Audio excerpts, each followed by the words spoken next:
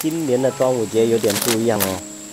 今天我想做一个碱水粽，不知道吃过的人有多少，又有多少人知道做之前要去山上摘这种可以做碱的树叶回去，比如鸭掌木。我想问问你们，当吃到跟小时候一模一样味道的食物，味蕾识别到久别重逢的它时，那个刹那，心会不会被融化掉？一个机灵没忍住，湿了眼眶。我有，那就是碱水粽。今天当我咬第一口的时候，我的眼泪是在打转的。其实端午节也是我的生日。我记得上小学的时候，端午节只有下午才放假。回到家的时候，我爸妈他们做了一桌子菜。我记得有紫苏鸭、酿茄子、酿苦瓜，还有一个就是碱水粽。那个时候我不知道过生日是有蛋糕吃的，也没有这个概念。现在回想，粽子就是我的蛋糕啊。虽然没有任何馅料，但那时候觉得特别特别的香。现在隔有二十多年都没吃过了。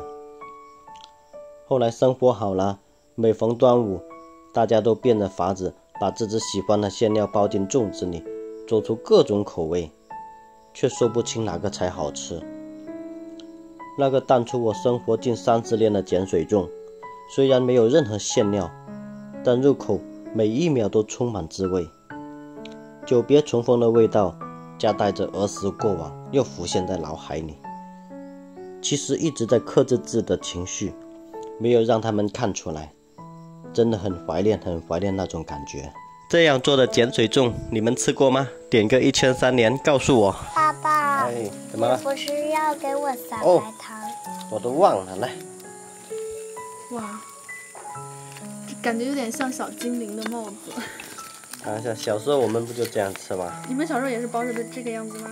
不是包这种样子，但是就是就撒白糖吃。爸爸，好好吃，如果吃。